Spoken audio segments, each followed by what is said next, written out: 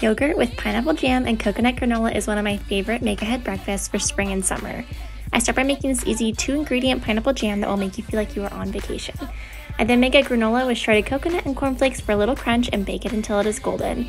This is perfect for a spring brunch menu. You can make it in advance and everyone can help themselves. I hope you love it.